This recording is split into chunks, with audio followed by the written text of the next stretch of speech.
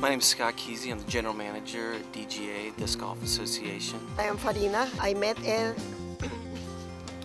we got married in 1997. Steady Ed was obviously the father of disc golf, uh, the inventor of the modern day frisbee, um, the inventor of the disc golf Pole Hole, which was the, the item of the sport that needed to kind of define uh, the sport of disc golf. My brother said there was a disc golf course there. I was already a ball golfer, so it came natural to, to play golf. I like to throw frisbee, so it was a good meld. And uh, started playing on the wooden posts out there and didn't really think much of it at first. You know.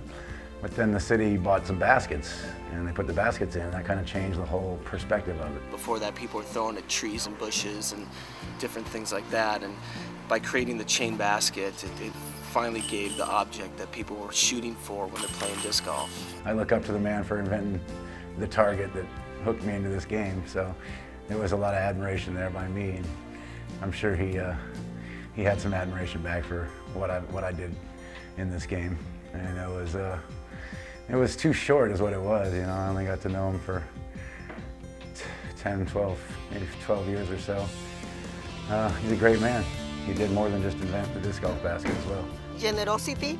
He spread the word and uh, he was giving a bunch of um, holes here and there, uh, teaching everybody how to play. When he was outdoor, he just he just loved the people. He he enjoys it. He he just loved to be surrounded with these golfers. And uh, his involvement in, in, naming the Masters Cup after him was uh, kind of a no-brainer. Um, after being up in Lakeport for a number of years, he made Santa Cruz area his home. Loved this area, loved this golf in this area.